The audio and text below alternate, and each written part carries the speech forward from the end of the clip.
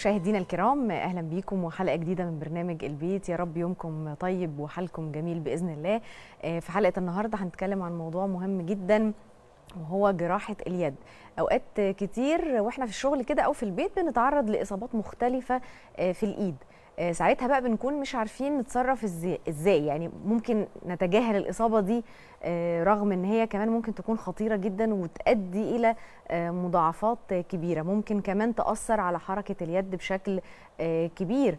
ووقتها بقى هيكون في صعوبة في استخدام اليد نفسها. علشان كده في حلقة النهارده هنتعرف على الإصابات دي وإزاي إن إحنا نقدر نتعامل معاها وإيه هي أحدث طرق علاجها. وده طبعا هيكون من خلال إجابات ضيفنا النهارده اللي مشرفنا في الاستوديو أستاذ دكتور ياسر حلمي أستاذ جراحة التجميل والحروق بمستشفيات جامعة الأزهر وكلية طب البنين بالقاهرة. أهلا وسهلا بحضرتك يا دكتور منور. أهلا بيك. آه نيجي نتكلم عن اليد يعني اليد بس هي ما شاء الله فيها حاجات كتيرة قوي. عظام أوتار اوعيه دموية آه آه في مثلا إيه حاجات كتيرة. يعني إيه بقى؟ الموضوع ده تبع إيه؟ قصة اليد. شرايين واورده آه, آه اليد بقى إيه نظامها؟ آه اليد ده تخصص جراحي آه من ضمن تخصصات جراحة التجميل. من ضمن. نعم. جميل آه. يعني خلينا بقى طالما أنت ركزتي أيوة على من ضمن. عايزه أعرف آه. آه نقول إيه هو تخصص جراحة التجميل؟ هو تخصص اسمه جراحة التجميل والإصلاح. وعلاج الحروق. آه. آه التخصص ده تطور مبدئيا عبر العصور وعلى فكرة من أوائل الناس اللي لها باع في جراحة التجميل هم قدماء آه أجدادنا المصريين. yeah. وأوراق البردي والجدريات موجودة في معبد كومومبو. بتوصف إزاي كان الطبيب المصري القديم بيثبت كسور الأنف تقريبا بالطريقة اللي إحنا بنعملها دلوقتي. سبحان الله. فتاريخ جراحه التجميل تاريخها طويل وممتد منذ عصر القدماء المصريين ثم الحضارة الهندية بعد كده ثم تطورت تطور ملحوظ جدا مع الحرب العالمية الأولى والثانيه لأن في الحرب خاصة الحرب العالمية الأولى والثانيه كانت شهدت بقى تطور في الأسلحة والمتفجرات فكانت الإصابات غير معهودة. آه. وكانت إصابات جديدة على المجتمعات ساعتها. فده دفع الجراحين مع تطور بقى المضادات الحيوية وإن الأنسجة الناس بقتش تموت على طول بعد الإصابات للبحث عن حلول لهذه الإصابات. فنشأت تخصصات كتير بقى في جراحة التجميل. مم. يعني جراحة اليد وهي جزء أصيل من جراحة التجميل جراحة كسور الوجه والفكين والعيوب الجمجمة ده جزء أصيل من جراحة التجميل. مم. جراحات العيوب الخلقية في الأطفال. مجرى البول إصلاح مجرى البول الشفة الأرنبية شق الحلق آه، العيوب الخلقية في الإيد في القدم. كل ده تخصص جراحة التجميل. مم. مع تطور ال ال الأمراض بقى في حاجة اسمها سرطانات الجلد والوجه. ده في صميم تخصص جراحة التجميل. ثم نشأت الجراحة الميكروسكوبية اللي هي استخدام الأدوات والتقنيات الميكروسكوبية لنقل نسيج عضلة مثلا أو عضلة بالأعصاب بالشرايين بتاعتها من مكان متهتك زي قدم مثلا أو أو أو طرف سفلي مم. بدلا من بتره لإعادة بناء الأنسجة مرة أخرى أوه. وبالتالي ده تطور في الرعاية الصحية ده اضف بقى يبقى الجزء القليل قوي اللي أوه. هيبقى طبعا والحاجات الحاجات التانية كتير بقى علاج الحروق ومضاعفات. التجميل دي دايما إيه الناس إيه تقول لك الحاجات اللي هي الحاجات التجميلية. بالظبط. آه لكن ما تعرفش في جزء لا يمثل 20% منها وهي جراحات الجمال. آه. اللي هي جراحه شفط الدهون وشد البطن وال الحاجات اللي إحنا بنهتم بيها. ما هي مهمة وضرورية لكن هو هذا تخصص حتى من. في الدوريات بيسموه ال problem solving specialty أو تخصص حل المشكلات الطبية. هدي لحضرتك مثال يعني في حالات كتير مثلا إذا حدث في جراحة القلب والشق الصدري اللي بيتعمل مثلا آه لأي سبب. القلب المفتوح. آه حصل فيه مضاعفات وفقدان للأنسجة بيتم استدعاء جراح التجميل لنقل عضلة بالشريحة لتغطية المكان. في أمراض النساء في بعض العيوب الخلقية في البنات مبقاش عندهم آه الأماكن التناسلية مظبوطة بيتم آه. استدعاء جراح التجميل لإجراء إعادة بناء للأنسجة. في آه جراحات زي ما بقول لحضرتك ال head and neck surgery أو جراحة الرأس والرقبة حاجات كتير جدا كسور الوجه سرطانات الوجه آه العيوب الخلقية في الجمجمة التكلس المبكر الأولاد اللي بيتولدوا المفاصل بتاعتهم بتلحم بدري وبالتالي تلاقي دماغه صغيرة وال features بتاعت وشه كلها فيها مشاكل, مشاكل. في بروز في عينين في عينيه الفك فيه مشكلة كل ده بيتدخل فيه بيتدخل. جراح التجميل. فجزء فجراحة اليد هي جزء أصيل آه. من جراحة التجميل. جميل. طب نتكلم بقى عن فكرة جراحة اليد. هل بتعتبروها يعني من العمليات الخطيرة جراحة اليد دي؟ آه، هي يعني نقدر نقول إن هي بتحتوي عمليات بسيطة وعمليات خطيرة. آه. بمعنى إن لو بصينا لمكون اليد اولا هو مكون سبحان الله معجز. يعني يعني ملي- مليان ده أنا قعدت أبص يعني اللي هو إيه حاجات كتيرة مفاصل وبيستخدمه الجراح الله. المذيعه وبيستخدمه آه، المدرس كل سبحان الناس. بناكل عيشنا وبنعيش حياتنا صحيح. وهو بال بالإيد مم. الإيد هي م- مكونة من طبقات زي ما ربنا خلق الإنسان في أحسن تقويم جلد أصلا آه من لو هنطلع من بره لجوه يبقى جلد مم. وتحت الجلد طبقة دهنية وبعدين أوتار وأعصاب وشرايين ومفاصل وأربطة وعظام سبحان الله. وكل دي بتعمل في ديناميكية وحركة غريبة جدا عشان تؤدي الوظائف. أبدأ بدءا من انقباض الإيد وانبساطها حتى حركة التسبيح نفسها دي ليها آلية وميكانيزم خاص جدا. صحيح، القلم صح نفسها سبحان لها الله. تقنية سبحان الله معجزة جدا. مم. آه، استخدامنا اليد في كل النشاطات اليومية. طيب المكونات بتاعت اليد دي قد تصاب إما بمرض أو بإصابة. صح أمراض زي ما إحنا عارفين أمراض الروماتويد والحاجات دي وأمراض ال- المفاصل وال وبعض مثلا الأورام اللي ممكن تيجي تحت ال- تحت الضوافر وإصابة إصابات ده بتحصل كتير بتحصل في البيت لست البيت بتحصل في الشغل الناس اللي بتشتغل. بإيديها مم. ال manual workers والناس اللي حتى الناس العاديين يعني آه، وبتحصل في الحروب وفي النزاعات آه. فجراحة اليد آه، هي جزء أصيل وفيها مكونات كتيرة. يعني مم. ممكن تكون الإصابة في العظم وممكن تكون في الأوتار ممكن تكون في الأعصاب والشرايين. مم. يعني دايما تسمعي مثلا في محاولات انتحار حاولت يعني تنتحر ب آه يحصل الشريان. القطع الشرايين اللي هنا دي آه. بالظبط. من يقوم بإصلاح هذه مين الشريان بقى؟ الشرايين. ليس جراح الأوعية وليس جراح الجراحة العامة وليس جراح العظام. مع احترامنا الشديد ليهم لكن هذا تخصص في جراحة التجميل.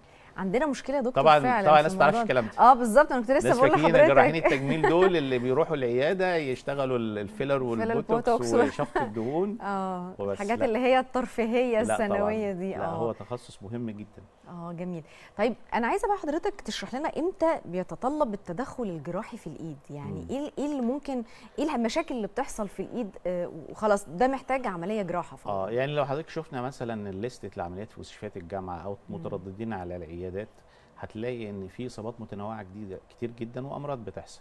آه. لو مسكناها مثلا من العظام ممكن بعض الإصابات ايا كان نوع سبب الإصابة حادث آه، أثناء العمل آه، حادث طريق ممكن. حروق كمان يا دكتور. آه، حروق طبعا. آه. ما هو الحروق في اليد إن جراحة اليد والتجميل وجراحه الاثنين بقى مع بعض. آه صحيح. الجلد ممكن يحصل فيه حروق ممكن يحصل فيه أورام. ممكن يحصل فيه إصابات صغيرة حد باب قفل على صباعه باب العربية. آه. آه، دي من الحاجات المشهورة جدا. بيزرق الصباع كده بيبقى- الصباع وممكن يحصل فيه مضاعفات ويحتاج عملية لأن الأنسجة لو حصل فيها آه، يعني تخثر أو بدأ يحصل فيها نوع من المشاكل بتحتاج تدخل جراحي. مم. مش كده وبس ممكن يكون في قطع في الأوتار. والأوتار دي ليها درجات ولها أنواع كتير وأماكن معينة بنقسمها جراحيا. آه، كل قطع في الوتر في مكان بيكون له طريقة معينة في العلاج. ممكن يكون في قطع في الأعصاب والشرايين ممكن يكون في آه، تفتت للعظام. كل هذه تدخلات إحنا بنجريها. بما فيها تدخلات العظام بس دايما بتوع العظام يقولوا لا إحنا اللي. بنثبت الكسر فبنتعاون مع بعض يعني. في تعاون. آه في مفيش في مشكلة. اليد مفيش مشكلة. آه بالظبط كده. طيب ال- الحروق بنشوف آه، يعني بتعتبروا إيه أخطر حاجة ممكن تحصل للإيد؟ آه في حاجة اسمها ال crushed hand أو degloving injury مم. الإصابات اللي هي بتبقى إصابات نخعية تهتكية وأنا كان في بعض الحالات معايا يمكن بعت صور لل لل- هنعرضها آه، أكيد آه. فبعض هذه الصور مثلا أثناء حادث سيارة مثلا أو أثناء آه، آه، آه، حوادث انفجار أو ما بيحدث إلى ذلك بيحصل إن الإيد يحصل فيها تهتك شديد انف- تهتك لفقدان للأنسجة الجلد الأوتار متهتكة ومنتهيه نهائي آه، آه. قطع للشرايين للأعصاب تفتت للعظام دي من الحالات طبعا اللي بتبقى بتحتاج رعاية خاصة جدا طبعا تحتاج خبرة مم. كبيرة للتعامل مع كل نسيج على حده ونتائجها لو تم العناية بيها كويس قوي آه. نتائجها بتكون آه، بتكون إلى حد ما آه، ناجحة جدا خاصة حسب درجة الإصابة ودرجة التهتك دي من أخطر الحاجات لكن في حاجة شائعة قوي من اللي بتيجي للسيدات خاصة مم. اللي عندهم السكر اللي هو الضغط على عصب اليد أو آه. متلازمة الرسخ اللي هو. حد عنده إيه ضغط على عصب اليد الأوسط اللي هو الست تيجي تستخدم حاجة تشيل حاجة ده تترعش وتوجعها آه وما تقدرش تتحرك دي من الإصابات اللي بتحصل مع مرضى ال- السكر أو مع السيدات أكتر مم. نتيجة زي تغيرات الوزن والحركة بالإيد والضغط عليها. آه، في إصابات بتيجي لوحدها يعني حد مثلا آه، في المطبخ بيستخدم حاجة والسكينة فلتت فقطعت قطعت الوتر. بس قطع وتر واحد في مكان معين وبيتعمل له جراحة في إصابات بتيجي إن تم إهمالها أو عدم علاجها من الناس غير متخصصين أو في. أماكن بعيدة بنعمل ما يسمى بنقل الأوتار يعني الوتر إذا فقد أكتر من فترة ست شهور المكان بتاعه ما نقدرش نوصله في بعضه مم. لأن الوتر ده عامل زي ال زي ال- ال- ال elastic tissue نسيج مطاطي. فالفترة دي لو فضلت فتره طويلة وحصل تليفات على الناحيتين ما نقدرش نخيطه بعد مرور فترة معينة. فممكن بنستعين بحاجة اسمها بناخد برضو أوتار وسبحان الله دي من إعجاز ربنا. في بعض الأوتار بتبقى في الإيد يعني لو عملت إيدك كده. هتلاقي في وتر في النص هنا كده تشد اسمه ال palmaris. آه، صح. بتتني كده. آه، ده بنستخدمه في واحد في الرجل.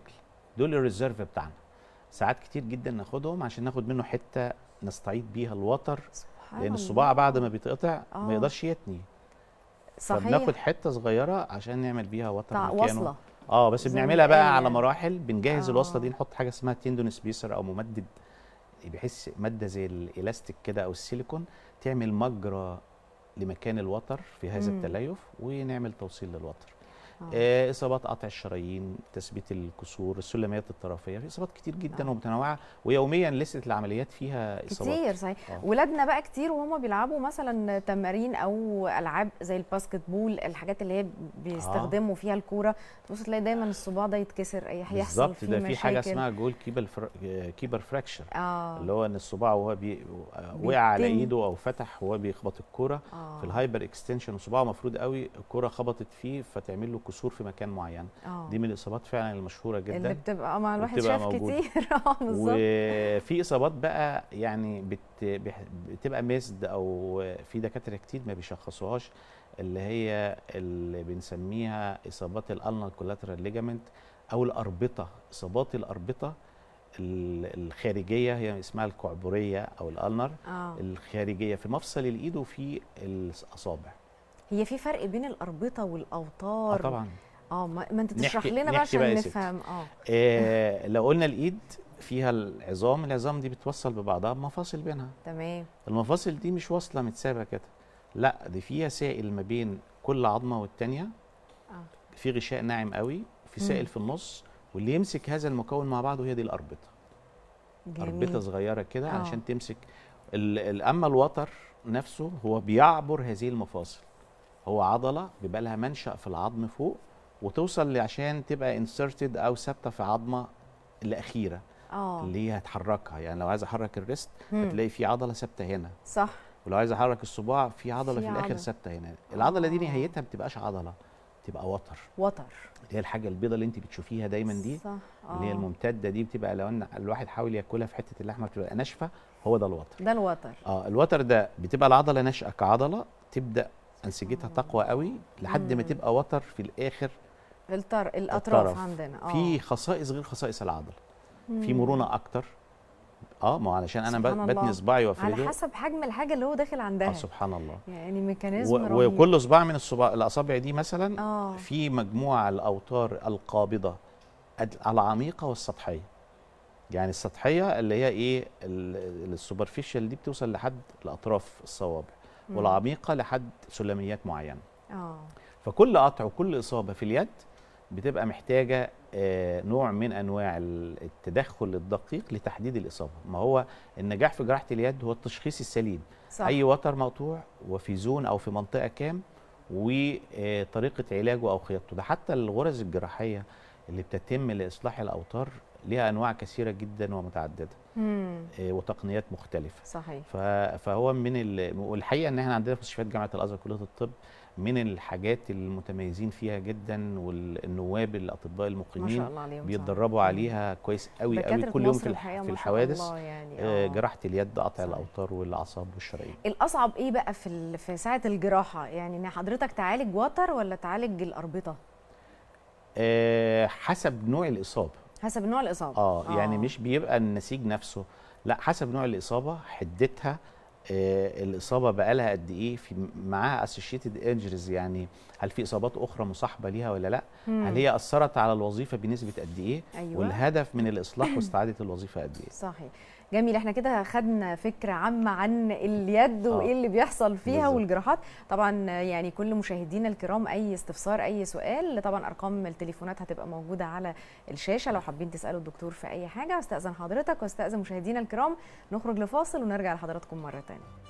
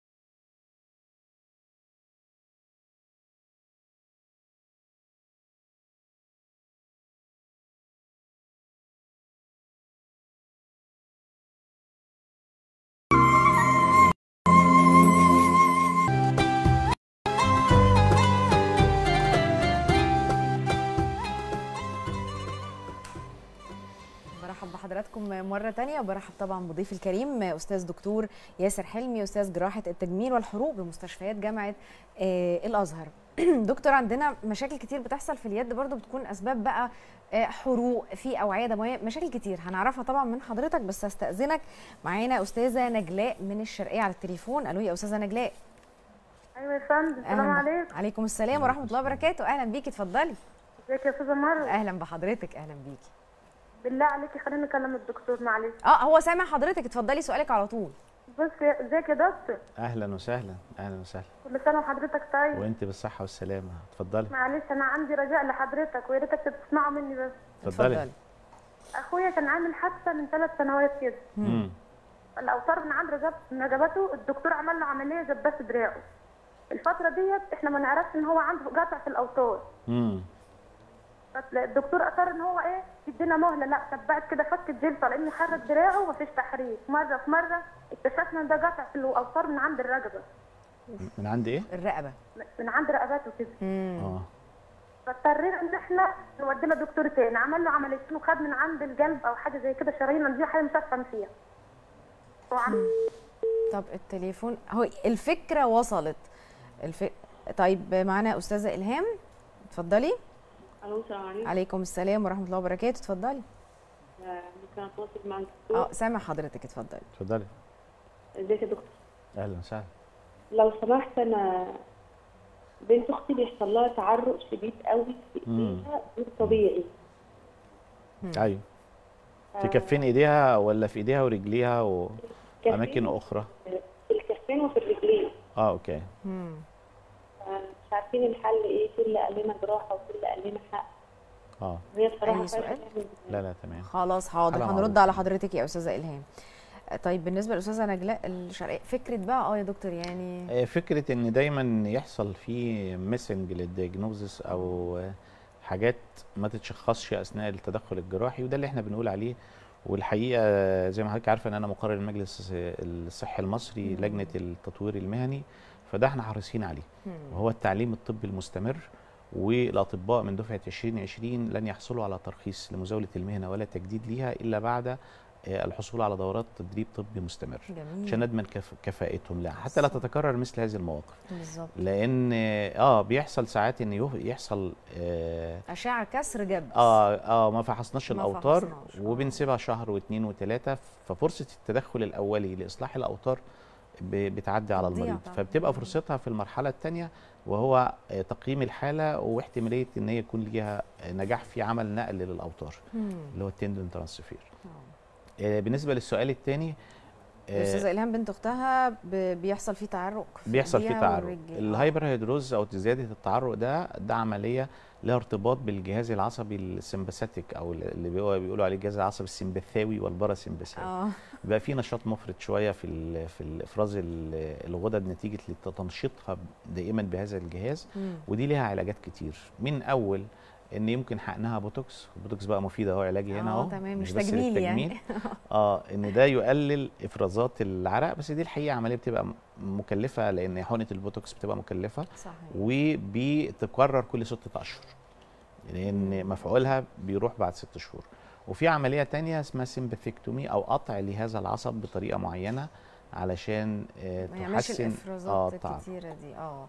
جميل طيب نرجع تاني بقى لحوارنا عن فكرة ال- اليد بتحصل يا دكتور الحروق بالذات بحس إنها مم. تبقى صعبة قوي مم. يعني لما بيحصل حرق في الإيد آه يحصل فيه تشوهات تلاقي الأطراف خلاص آه، تيبست كده أو ووقفت. حركتها بقت محدودة آه ما بقاش آه. في حركة إيه السبب بقى آه، السبب إن ما بيحصل حرق خاصة الحروق اللي من الدرجة الثالثه اللي هي. القوية بتاعة انفجار أنبوبة غاز تعرض لفترة طويلة للهب والحرارة بيحصل آه، لو ما حصلش استئصال لهذه الحروق immediately يعني في أول 24 ساعة أو حتى في الأسابيع الأولى وعلاجها وعمل رقعة جراحية ثم علاج طبيعي بطريقة مكثفة الحقيقة إن آه، برضو من الأخطاء اللي بتحصل أو مم.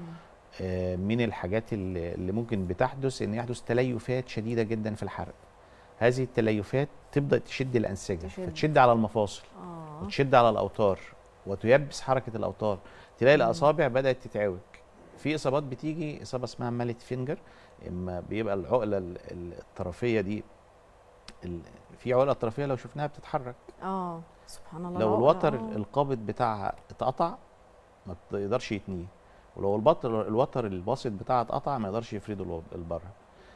في الحروق بيحصل إن الحرق بيبقى شديد لدرجة إنه ممكن ياكل هذا الوتر الإكستنسور أو الخارجي أو يحدث تليف شديد تلاقي الصباع يعني إيه بقى معوج أو الوتر اتقطع يعمل ملت. ملت يعني بس م- معوج كده زي المطرقة. آه. ملت يعني مطرقة.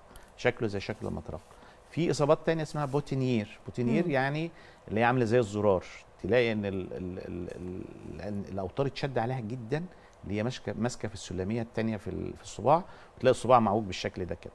آه سبحان ده نتيجة الحروق. مش كده وبس. المفاصل أو ال web spaces اللي ما بين. الأصابع ونفسها إذا حدث فيها تليفات شديدة جدا تلاقي الحركة بقت محدودة حركة الأصابع ما يبقى المريض مش قادر يحرك إيده. يحرك إيديه. لو حصل التليف ده شديد جدا في الكف الإيد يجي يتني يبقى في حاجة شد عليه جدا كأن الأنسجة طبعاً، هتتقطع الله. حركة إيده بدل ما هي حركة ديناميكية متزنة ومتداخلة بصورة فسيولوجيه سليمة مم. تبدأ تبقى limited أو محدودة. فجأة فجأة فجأة مع عدم العناية وعدم وجود علاج طبيعي ومتابعة جيدة فهيحصل تيبس. تتيبس المفاصل. مم. الله ينور عليكي. صحيح. والسائل الزلالي فيها ما يبقاش بيفرز لأنها ما بتتحركش. وتبدأ المفاصل تفقد وظيفتها. لو فقدت وظيفتها مهما نعمل من عمليات لإصلاح. الأوتار آه. لا هنبقى محتاجين تغيير مفصل. تغيير مفصل. آه طيب معانا أستاذة نادية من الجيزة. اتفضلي. السلام عليكم. أستاذة نادية. طيب آه معانا أستاذة أمل من القاهرة. أستاذة نادية بقى تحاول تتصل بينا تاني. أيوه يا أستاذة أمل السلام السلام عليكم عليكم ورحمة الله وبركاته. أهلا بيكي عليكم اتفضلي السلام. عندي اتنين آه، سؤالين من فضلك. اتفضلي اتفضلي. السؤال الأولاني عن الصباع المعكوف. أنا آه، حاجة عندي 71 سنة. ما شاء عندي الله. صباع معكوف في الرجل اليمين. الصباع الكبير عليه واحد تاني فوقيه. فوصلت لمرحلة إني مش قادرة أحط رجليا خالص في الأرض. هل في عملية معينة ولا تمارين معينة ممكن فهمت. أعملها ده السؤال الأول السؤال الثاني عندي آه الأحفاد بيطقطقوا صوابعهم إيديهم ورجلهم ده صح ولا غلط؟ آه مش الأحفاد ده إحنا كلنا فعلا والله يا أستاذة أمل موضوع الطقطقة ده ده مهم جدا. حاضر أنا ما أعرفش إيه الارتباط. هل الشيطان ولا إيه؟ مش فاهمة. السؤال. الثالث لا هي عادة عادة عادة. عادة عادة. غلط صراحة. صح آه. ولا إيه ولا ده؟ هنعرف من الدكتور. حاضر. تمام. في أي سؤال تاني؟ حضرتك. الإيد بتاع ده هو حفيدي عنده 20 سنة بياخد فوطة معاه في الجامعة عشان إيديه بتنزل عرق فظيع. هل فيها حل مثلا؟ ما سمعتناش من آه، الأول بالظبط. يا أستاذة أمل. إحنا جاوبنا على السؤال ده بس حاضر. هنعيد لحضرتك. حاضر. من عينينا عينينا عينينا. آه، أستاذة نادية الجيزة رجعت لنا تاني؟ والله. ألو يا أستاذة نادية. أيوه مع معاك أهو. اتفضلي اتفضلي سؤال أيوه السلام عليكم. عليكم أيوه يا السلام يا بنتي السلام عليكم. وعليكم السلام ورحمة الله وبركاته. اتفضلي سامعين حضرتك. 70 سنة ما شاء وعندي الله. القلب يا حبيبتي ألف سلام. صوابعي ما بعرفش فيها حاجة خالص.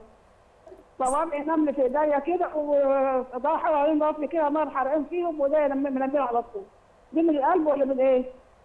آه، اي وقاعدين سؤال. الرخرة بتوجعني مش قادره أقعد على حيلي خالص. لا هي بتقول اقعد خالص طب ثواني إحنا صوابع حضرتك ما بتعرفيش تحركيها وفيها حرقان؟ لا محركه بس حرقان فيها تملي ونمل ونكش فيها كده زي ما يكون حاجة السكر؟ عند حضرتك السكر؟ لا ما عنديش سكر ولا عنديش كل ضغط صوابعك ال- القلب. الخمسة ولا ثلاثة صوابعك الخمسة ولا إيه؟ ولا صباع ونص؟ ايديا اليمين والشمال نملي فيها على طول نكش فيها ونملي على طول. ما بعرفش امسك فيها حاجة خالص. بمسك حاجة بمسك في إيديا في اليمين كده طبعا زي ما بعرفش امسك فيها حاجة. وزنها؟ آه، وزن حضرتك قد إيه يا أستاذة ناديه عندي 70 سنة. وزنك؟ وزني؟ وزني بتاع 100 و 100 كده 100 جرام. 100 كيلو. ماشي. ماشي يا حبيبتي حاضر حاضر. معانا أستاذ آه، عنتر. أيوه. أيوه يا أستاذ عنتر اتفضل. اتفضل سؤالك سامعينك سمعنا من التليفون بس. معايا الواد أنا عامل عملية في كوعه في المفصل. تمام. فدراعه مش معتفرد الفرده الكامله آه تمام. مش بيفرد. الجلد دراعه مش معيجيب الفرده الكامله معيجيب حوالي 70% من الفرده الدراع. كان في حروق قبل كده؟ كان في حروق قبل كده؟ ها؟ كان في حروق؟ لا فيش حرق لا ده هو كان اتكسر المفصل وعملت له آه، الاشاعه مكان و... مكان الجراحة يعني؟ آه مكان الجراحة يعني يا أستاذ عنتر مكان الجراحة بس آه. الدراع مش معتفرد الفردة الكاملة يعني معيجيب حوالي 70% من الفردة بس ما. مفروضش الفردة النهائية يعني. ماشي حاضر. هنرد على سؤال حضرتك. حاضر. طيب أستاذة أمل آه، من القاهرة. فعلا بنشوف آه فكرة في تلاقي صابع راكب على صابع كده آه في إنما دي الرجل إحنا ما قلناش. إن من العيوب ال- العيوب الخلقية. آه. الأول إن يبقى في صابع زيادة صابع ناقص صابع معوج صابع ملتصق. ده برضه جزء من جراحة اليد. برضه آه. آه يعني تلاقي صباع ملتصق صابع زيادة. آه. صابع معقوف ما كانتش مولودة بيه مش عيب خلق يعني. مم. آه لا دي مشكلة في آه بعد كده في يا إما يكون في مشكلة في الأوتار أو في المفاصل نفسها مع السن محتاجة اشعاعات عشان تتحدد حالتها صح وب- وبيتصلح يعني الصباع وبيتصلح طبعا. آه. ما ما لم يكن هناك مشكلة كبيرة يعني مناعية مشكلة صحيح. يعني روماتويد مثلا ملوش تدخل جراحي خالص كله علاج إلا في النهاية ممكن يعمل تغيير مفصل. الروماتويد ممكن يؤدي لل مثلا بس في اليد. مش آه لكن الرجل في لا اليد. طبعا بيأثر آه. على المفاصل شوية لكن في اليد بتبقى بقى ظاهر جدا جميل طيب آه يعني سؤال برضو التعرق قلنا في مشاكل في الغدد آه عشان ما برضو لو في ما ونشاط سمعت في الأعصاب وده بيتعمل له يا إما حقن كل ست شهور بالبوتوكس أو بيتعمل له جراحة الطقطقة بقى يا دكتور يعني الطقطقة. اصل بص إحنا طول ما إحنا قاعدين إيه تلاقينا نقعد نعمل كده هو ونعمل كده هي بتبقى ده عادة؟ اجتماعية أو لها ارتباط زي التدخين كده بأجواء آه. معينة من التوتر مم. آه، غلط يعني آه، كترها طبعا غلط مم. لأن هو الطقطقة انت بتضغطي على ال- ال- المفصل نفسه والأربطة اللي ماسكاه الأربطة مش مم. إحنا اتفقنا إن المفصل ده صح. عبارة عن عظمتين قصاد بعض بينهم سائل آه، زلالي عشان يتحرك وفي حاجات صغيرة كده ماسكاهم ببعض اسمها الأربطة دي الأربطة والأوتار بتعدي بقى على المفاصل مم. فإحنا كل ما بنعمل كده بنضغط على الأربطة فممكن نضعف الأربطة ونعمل لها إصابات. متكررة فنقلل على قد ما نقدر جميل آه طيب بالنسبة لأستاذة نادية آه 70 سنة هي مشكلة عندها ال- القلب. آه بتقول لك على طول حاسة إن أنا إيدي منملة. حرقان في الغالب آه، أنا سالتها عن الوزن لأن في الغالب عندها ضغط على عصب اليد طبعا ما أقدرش أقول تشخيص نهائي أو حتى مبدئي 100% آه لكن هي محتاجة تعمل يعني مناظرتها وممكن تعمل لها رسم عصب للتأكد إن العصب الأوسط ده ماشي في قناة كده اسمها الكاربل تانل. أو القناة الرسغية سالك يعني القناة. الرسغية بالظبط آه فلو حصل إن لأي سبب من الأسباب المجرى ده بقى ضيق على العصب أو حصل التهاب في العصب نفسه مم. آه، آه، وهي وزنها كبير فده وارد إن يبقى الوزن يسبب آه ده. طبعا يساعد على كده والسكر آه. التهابات الأعصاب. مش القلب يعني إن هي سألت السؤال ده قالت هل ده ليه علاقة بال لا ما يعملش؟ وجع. يعني هو وجع. القلب بيعمل اضطرابات في الدورة الدموية الطرفية حسب الحالات وده مش تخصصنا. لكن آه، ما يعملش ألم في الإيد. ما يعملش الألم ولا آه، التنميل. الألم ده غالبا آه، ضغط على العصب. هل ده ضغط على العصب الأوسط في إيدها؟ هل هو التهاب في الأعصاب الطرفية؟ هل هو تطورات للسكر مثلا أو زيادة وزن؟ محتاجة طبعا فحص ومناظرة. جميل. أستاذ عنتر عمل عملية قبل آه. كده في المفصل بس آه. إيده خلاص مكان الجراحة ما بقاش. يفرد. آه 70% بس فرد. آه. ما دي برضو من الإصابات زي ما حضرتك مهتمة بالحروق. بتحصل بعد الحروق وبتحصل بعد الجراحة. الجراحة. مكان القطع الجراحي بتاع الجراح عشان يدخل يثبت العظم فهو بيلتئم حصل فيه تليف. فيبدأ يشد الجلد الجلد يبقى فيه حاجة زي band أو زي ضفيرة من الجلد كده شده الأنسجة. يجي يفرد تعمل له limitation ما يقدرش. بنعمل لها عملية بسيطة قوي وبتتحسن. اسمها جميل Z-plasty. ماشي هستأذن حضرتك وأستأذن مشاهدينا الكرام. نخرج لفاصل ونرجع لحضراتكم مرة تانية نكمل موضوعنا.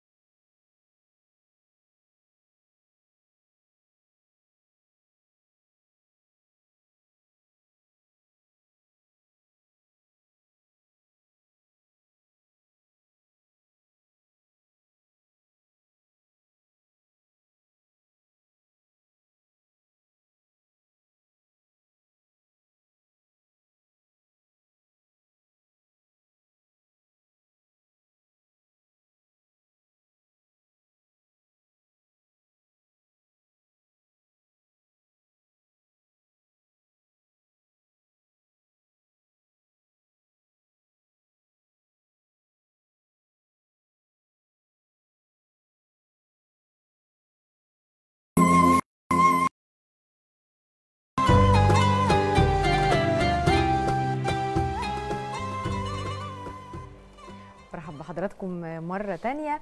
ولسه مكملين بقى مع دكتور ياسر لأن موضوع ال- اليد دقيق قوي يعني. وكمان هو عضو في الجسم مهم جدا لا يمكن الاستغناء. فربنا يا رب يحفظ كده. نعمه علينا. آه، دكتور خلاص في حاجات جديدة بقى دخلت دايما في الطب. يعني دايما العمليات التقليدية في دخل ليزر دخل منظار حاجات كده. مم. هل بقى في في اليد سمعنا عن عملي عمليات ميكروسكوبية؟ أيوه. إيه بقى دي؟ العمليات الميكروسكوبية المقصود بيها هو استخدام الميكروسكوب الجراحي. آه.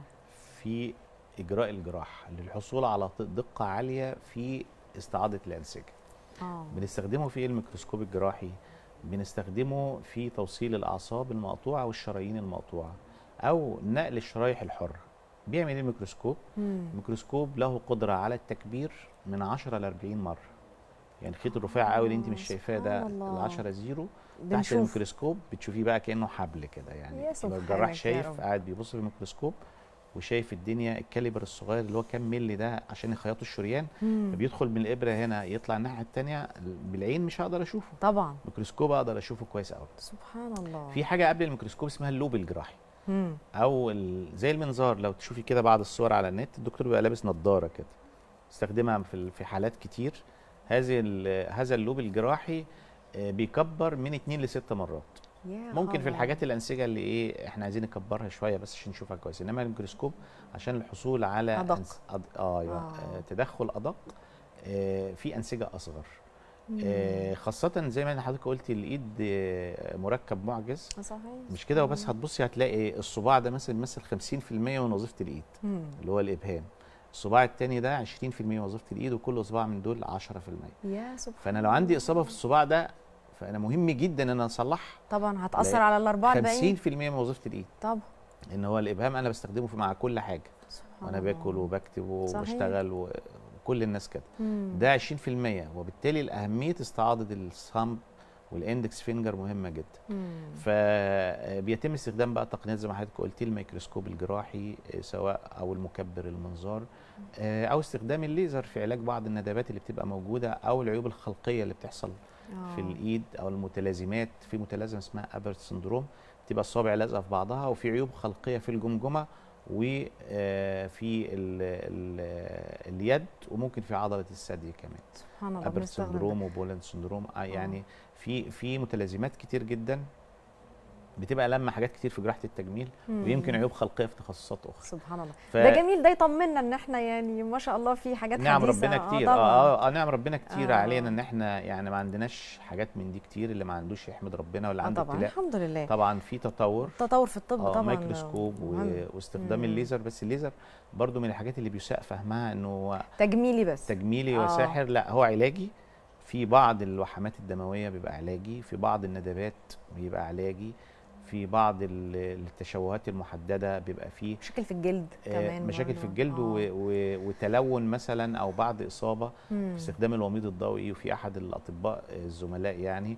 عامل شغل كويس قوي في علاج بالوميض الضوئي للإصابات والوحمات جميل جدا استاذن حضرتك معانا أستاذة أمال من الشرقية السلام عليكم السلام ورحمة الله وبركاته القليوبية أنا اسفه أستاذة أمال اتفضلي. ولا يهم حضرتك. آه،. حضرتك آه، عندي بنوتة آه، كان- هي نازلة بلد سلوكية في إيديها ورجليها. هي عندها الإيد الشمال عبارة عن عقل والإبهام مش موجود. كان في كيس دموي عيوب كده ما. بينهم هو بعد كده اندمل ووقع. وعندها إيديها اليمين فيها صباعين الاتنين فيهم برضو مشكلة. وعندها في رجليها اليمين آه، صوابعها لازقة في بعض يعني عملت لها كذا. عملية في مستشفى جامعي. آه، آه، هم عملوا كذا عملية بس هي هي يعني يعتبر زي لأن حتى رجلي حتى اتسلكت ورجعت قفلت تاني على بعض. هي مش مش صوابع اللي هي الرجل اليمين دي هي عبارة عن. إيه برضه حاجات مختلفة في بعض. إنما الإيد الشمال هي اللي فيها المشكلة الأكبر إن الإبهام مش موجود أصلا. وعبارة عن عقل عقله عقلتين. فكان في بيخرج منها من صباع زي إيه زي عظمة كده. فلما آه، رحت للدكتور الله. كان بيقول لي إيه ننشرها عشان نموت العصب وكده فأنا ما حبيتش كده في حين ان أنا كنت شفت في زرع خلايا جذعية البنت كانت في المستشفى هناك آه يعني فقال لي لا إحنا ما بقيناش بنعملها عشان هي إحنا بس كانت حالة بنتعلم فيها وخلاص إنما فأنا مش عارفة يعني إيه اللي أنا أقدر أعمله معاها هي طبعا دلوقتي كبرت بقت؟ عروسة لأن آخر مرة كانت هتت يعني حصل مشكلة؟ في العمليات وقال أنا مش. هعمل عمليات تاني للبنت مم. فقال لي أنا مش هعمل عمليه تانية للبنت عشان كانت حصل يعني إيه إن هي توقف قلبها في العمليات وكده يا ورجعت حبيبتي. إيه؟ هي عندها كام سنة آه. دلوقتي يا أستاذة أمال؟ عندها 18 سنة. يا حبيبتي آه. طيب حاضر. هنرد على سؤالك حاضر دكتور حالا آه يعني قبل ما آخد التليفون التاني معلش أنا هعتذر بس التليفون الآخر يعني رد بقى عليه آه لأن البنوته. آه. هي عندها طبعا عيوب خلقية. آه. واضح إن عندها التصاقات في الأصابع في في اليد وفي القدم. آه. ودي من الحالات اللي إحنا كنا لسه بنتكلم إن هي موجودة. موجود تقريبا. وممكن آه ممكن يبقى فيه التصاقات صوابع زيادة صوابع. مش موجودة عقل مش موجودة عقل قصيرة صوابع قصيرة. في باترز معينة بنعلمها للأطباء الماجستير والدكتوراه. إنه تشخيص العيب الخلقي في ال- في اليد إيه. آه. فكل عيب لو أنا عندي العقلة دي تسمح بالتمديد بنعمل حاجة اسمها ديستراكشن أو تمديد تطويل للعظام. ينفع؟ بس حسب كل حالة. لازم تقيم حالتها. بالأشعة وتقيم كلينيكيا كويس. تمام. الالتصاق أنا لقطت منها وهي بتتكلم بتقول انها عملت عمليه وحصل لها ارتجاع تاني. آه رجعوا التصقوا تاني. التصقوا تاني. آه. الحقيقة إن عمليه الالتصاق حسب لو طبعت ال- المعايير الطبية مظبوط كويس قوي. بحيث إن أنا اخترت التدخل الصح لكل حالة وتم إجراء جراحة معينة بطريقة إن ال- ال web spaces دي ما تبقاش قريبة من بعضها أو فيها raw area أو فيها جروح ما هو التصق التاني ليه؟ آه، في أكيد مشكلة هنا لأن في جروح هنا آه. وهي بتلتئم لازق التاني إنما لو إحنا آه. عملنا ال web space ده creation بطريقة منطقية أو بطريقة علمية مظبوطة مش هتلتصق تاني صحيح فبيمكن لكن هي الحالات يمكن علاجها طبعا لكن بتاخد وقت طويل يا مدام أمال و وفكرة النشر بقى دي اللي بيقول يعني الدكتور لا بيقول الكلام ده أنا مش مش فاهمه خالص. آه. ما أقدرش أفتي فيه ب يعني هو بدل ما العقلة تقريبا يعني مش عارفه اللي أنا فهمته هو هو ده ممكن بنتكلم فيه في حاجات حاجة اسمها ال- ال megalo fingers أو ال- ال macrodactyly الصباع يكون متضخم. برضو من ضمن العيوب الخلقية إن يبقى الصباع العظم نفسه كبير.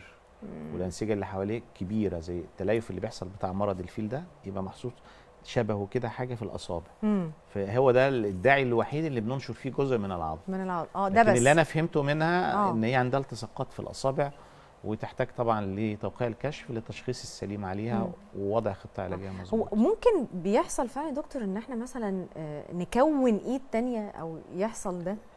آه تقصدي بإعادة زرع آه إعادة زرع مثلا. آه. طبعا دي بتحصل وبقت سهلة. زي ما انت لسه سألاني؟ عن الجراحة الميكروسكوبية آه إن لو الإيد مقطوعة بس لها شروط شروط.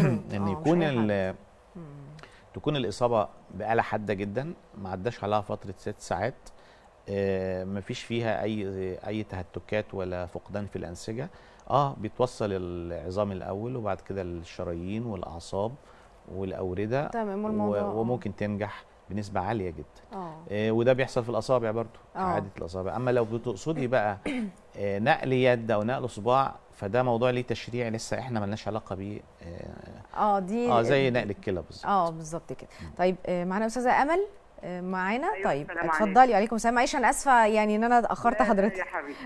شكرا. اتفضلي. آه أنا ليا حضرتك سؤالين. اتفضلي. أنا عندي دلع في رقبتي من وأنا يعني كنت بتاعه 25 سنة كنت لسه متجوزة جديد.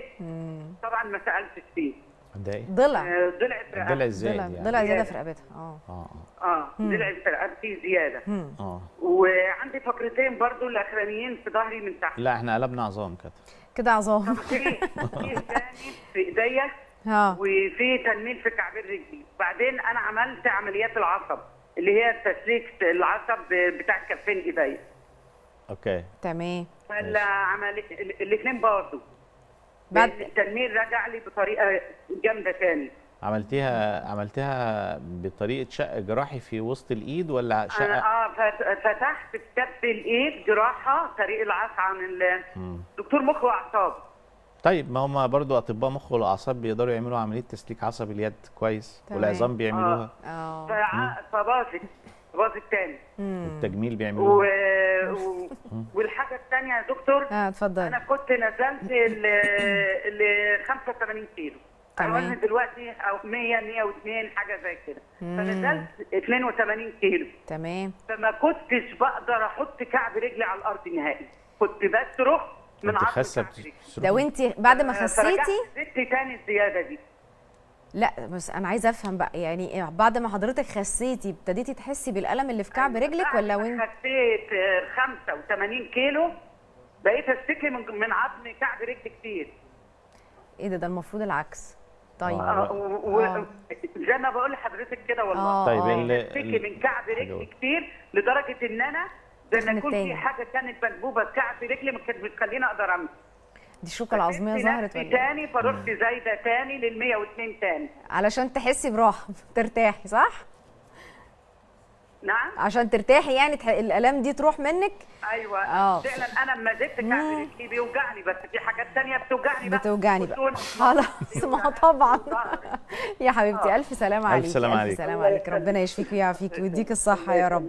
حاضر هنرد على سؤالك حاضر الضلع اللي في الرقبة ده ممكن يقص... الحاجات الزيادة أو آه الحاجات دي ممكن بيعمل تأثر حاجة اسمها thoracic outlet outlet syndrome أو ضغط هو مكانه المفروض ما يبقاش موجود فالأعصاب اللي طالعة وال بيضغط عليها فيبقى في وجع ده اللي ده مسمى آه في فده إيديه. بيشيله وده مش تخصصنا ده تخصص العظام آه آه وال هيريحها يعني والفقرات الفكرة آه. بيريحها طبعا آه، هي. بتتكلم بقى على إن هي عملت عمليتين لتسليك تسليك. العصب والاثنين بتقول إن هم رجعوا تاني اولا إن هي عمالة تزيد وتخس وكده طبعا مم. الوزن من الحاجات مع وجود جرح هنا بيعمل ضغط على طول فترجع الاعراض تاني فزيادة الوزن إن هي كانت خاسة وعملت العملية وبقت كويسة ورجع الوزن زاد فده طبعا آه، هيزود الوجع وممكن آه، يعني ما يكونش مشكلة في الجراحة قد المشكلة في زيادة الوزن آه. شوية بالنسبة لرجليها بقى إن هي بتخس بتستريح ولا ت- دكتور لا ده. لما خست حست. بالآلام أكتر آه هل دي شوكة عظمية هل هي تعري لبعض الأعصاب مثلا أو ضغط على بعض أعصاب معينة آه. آه. تحتاج استشارة طبيب عظام عظام. يعني عظام في قصة الضلع ده ممكن يا دكتور ال- الضلع الزيادة ده يكون هو اللي مسبب لها فكرة الضغط على العصب فما فيش فايدة في بس التسليك بس ده وارد جدا لأنه آه. آه. بيضغط على العصب من من الجذور من الجذور بس آه. هيبقى معاه أعراض تانية آه مش هتبقى الأعراض ماشية بس لحد لأن هو برضو التكوين العصبي ده آه، برضو معجز يعني آه. آه. الأعصاب اللي طالعة دي آه، طالعه بطريقة من عنق عنق العصب العصب، نفسه صحيح، اللي هو. اللي إحنا بنسميها ال- ال- ال midbrain أو ال- المكان الم- ال- النخاع الشوكي مم. بتطلع بطريقة معينة بتطلع كأفرع الأفرع فرع. دي تتحد تاني بطريقة معينة تعمل cord أو حبل أمامي وحبل خلفي. ودول يطلع منهم أفرع الأفرع ده ده يمتد لحد الصباع الصغير والأوسط وده يمتد لحد بقية الأصبع يعمل العصب الخارجي والعصب الأوسط والعصب الداخلي. والأعصاب اللي داخلة للعضلات. فمكان الضغ- الضغط الضلوع على الجذور والجذور دي عشقت مع أنه حبال بعد كده وطلع منها ديفيجنز فين آه. فدي قصة طويلة طبعا لازم الكشف. والتشخيص صحيح صحيح عشان نقدر نقول هل فعلا الضغط مم. بس هي لفتة كويسة منك هل ممكن الضغط على عصب العنق هو اللي مسبب الألم في الإيد ولا لا نقدر نقول عليها بس بعد فحص دقيق. فحص دقيق. آه، أنا بشكر حضرتك. جدا والله يا دكتور ميرسي يعني يعني على إجابات حضرتك وبشكرك جدا أستاذ دكتور ياسر حلمي أستاذ جراحة التجميل والحروق بمستشفيات جامعة الأزهر وكلية طب البنين بالقاهرة. وهنبقى سعداء برضو بوجود حضرتك معانا دايما. بشكركم مشاهدينا الكرام وبإذن الله الأسبوع القادم حلقات جديدة من برنامج البيت. دمتم في رعاية الله.